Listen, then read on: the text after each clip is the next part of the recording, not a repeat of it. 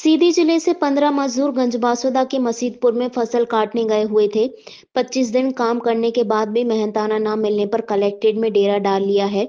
एक लाख बीस हज़ार से ज़्यादा का पेमेंट बकाया होने पर उन्हें धमकियाँ मिल रही हैं। कलेक्टर से लगाई मदद की गुहार, उन्होंने कहा कि परिवार में पिता बीमार है, उन्हें देखने के लिए जाना है।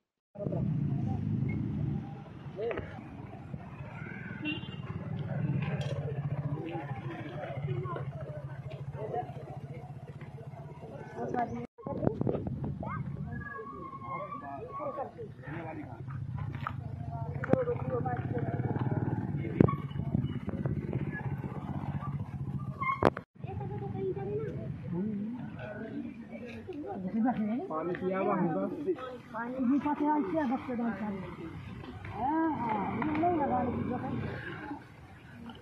कहाँ है जैसे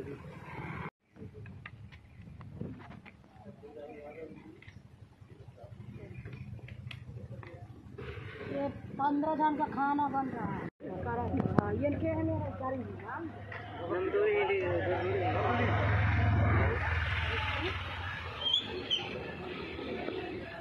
हाँ, रहने दो रहने रहने दो।